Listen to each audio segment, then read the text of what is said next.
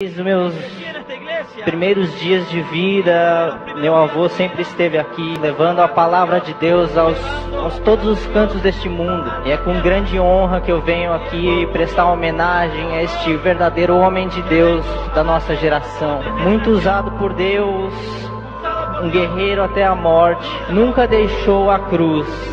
Ele trocou a cruz pela coroa do céu. O velório dele, por três dias e três noites, a igreja esteve lotada Uau. com o corpo dele sendo velado.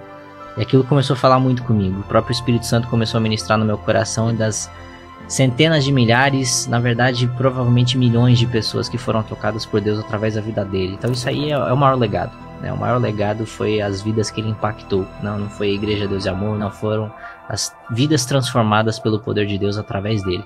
Deus falou assim muito claramente, assim, não é que eu ouvi uma voz, mas aquele download de informação muito claro que Deus estava falando. Falou assim: ó, seu avô só saiu de um púlpito num caixão. É isso que eu quero de você. Uau.